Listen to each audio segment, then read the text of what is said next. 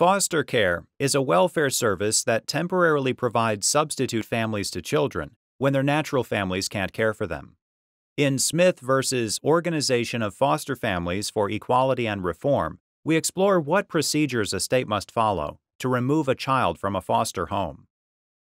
New York state law set forth certain procedures for removing foster children from a foster home. For example, the authorized foster agency was generally required to provide foster parents with 10 days written notice before a child was removed foster parents could request a conference in which they'd be informed of the reasons for the child's removal. At the conference, foster parents could also offer reasons why the child shouldn't be removed. Removal of the child was stayed pending the conference's outcome. If the agency still decided to remove the child, foster parents could appeal for a full administrative hearing. The decision from that hearing was also subject to judicial review.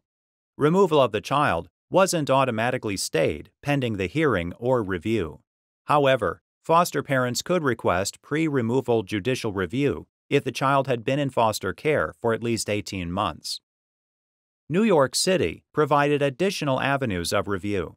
In addition to the conference provided for by state law, New York City foster parents could request a trial like hearing before a foster child was transferred to a new foster home.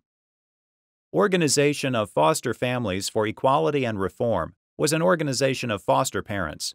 It, along with numerous foster parents, filed a class action lawsuit in federal district court.